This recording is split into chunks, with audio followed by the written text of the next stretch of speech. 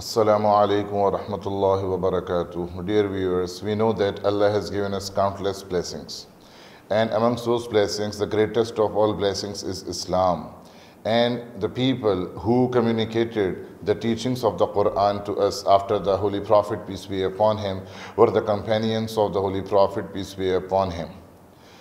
They played a very significant role in the Islamic history And Muslims need to know about their lives to understand that who were the earliest Muslims and how did they follow the Holy Prophet, peace be upon him, and the Holy Quran.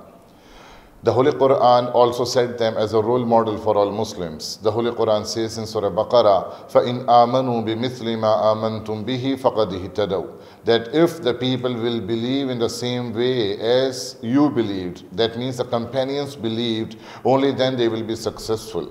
So Allah set them as a role model for all the Muslims that their iman will be acceptable, their iman will be perfect only when they will follow the footsteps of the Sahaba of the Holy Prophet, peace be upon him.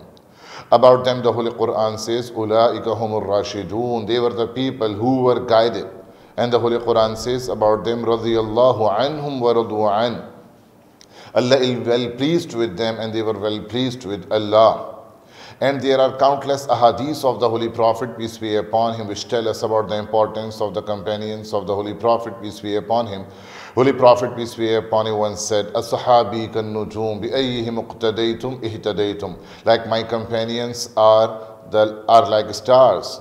If you will follow any one of them, you will reach the guidance. You will get the guidance by following any one of them. So the companions of the Holy Prophet, peace be upon him, are set as a path to success and they are set as a role model for all the Muslims. And by discussing the life of the companions of the Holy Prophet, peace be upon him, Muslims feel that their iman is refreshed. Their, the discussion of their lives encourages us to follow their path and to be like them in our daily living.